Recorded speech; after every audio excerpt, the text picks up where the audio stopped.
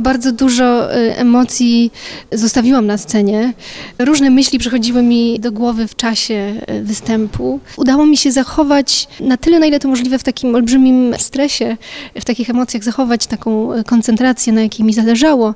Publiczność myślę też ciepło to przyjęła. Ja gdzieś tam mam bardzo, myślę, że jak każdy uczestnik, wyśrubowane wysoko standardy i nie zawsze udało się je w 100% spełnić, ale myślę, że do takiego emocjonalnego rdzenia tej muzyki udało mi się dotrzeć. Nie, nie, zawsze może to było stylowe, ale gdzieś też takie szczegóły zawsze umykają e, w trakcie występu na żywo kiedy gramy na instrumencie historycznym, a kiedy na współczesnym, to są zupełnie inne odruchy.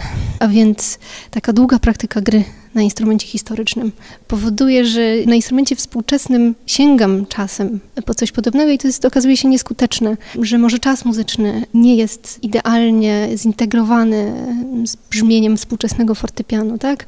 Jeśli chodzi o samopoczucie stylu, uwrażliwienie na brzmienie, to instrumenty historyczne mi bardzo w tym pomogły. Natomiast jeśli chodzi o o jakieś odruchy mm, czysto fizy fizjologiczne, możemy powiedzieć, samo odczuwanie czasu, samo przygotowanie techniczne, bo, bo instrument współczesny to jest, to jest potężna maszyna, która wymaga olbrzymiej ilości energii, zapasu. To jest fizyczna, ciężka praca, więc, więc może pod takim kątem to instrumenty historyczne no, nie, nie wpłynęły może pozytywnie, jak powiedziałam, ale no po prostu gdzieś tam dały mi wyobrażenie stylu, wyobrażenie brzmienia takiego oryginalnego, co na pewno też się przyczyniło do, pozytywnie do występu.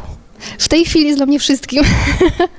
e, tak, w tej chwili życie moje się kręci e, wokół tej muzyki z racji właśnie przygotowań do konkursu. To jest olbrzymie wydarzenie i, i, i, trzeba gdzieś się skupić tylko na tej muzyce. To jest muzyka gdzieś najbliższa mojej naturze. Jest jednocześnie taką, praca nad nią jest taką wspaniałą intelektualną podróżą też, ale też zaglądaniem do tego świata duchowego. Bardzo dużo można dowiedzieć się o tych subtelnych stanach duchowych, grając tę, tę muzykę. Myślę, że Chopin jest takim, można powiedzieć, e, czy to może banalnie zabrzmi, że jest uduchowiony, wszyscy to wiemy, ale gdzieś tam ta, ta jego duchowość jest, y, jest bliska mojej. I to jest najbardziej ujmujące w niej, że jest po prostu tak skrajna, od takich stanów głębokiej namiętności, depresji, stanów negatywnych, takich jak właśnie, nie wiem, czasem odczuwam na przykład, nie wiem, zemstę albo rozpacz. Gdzieś na tym drugim biegunie jest, nie wiem, naiwność, delikatność, wiara, nadzieja. To jest po prostu całe spektrum emocji, które można odkryć w tej muzyce i może dlatego też właśnie jest moją ulubioną. Bardzo dużo jest trudnych y, aspektów E, w życiu pianisty. Może pierwszy z brzegu to, to samotność, myślę, jest najtrudniejsza. To jest takie właśnie uczucie, kiedy e, człowiek musi sam zawsze przed koncertem, zawsze po koncercie, w czasie próby, w hotelach, w podróży, jest, zawsze musi być sam. Dobry pedagog powinien być jednocześnie kompetentny, ale też empatyczny.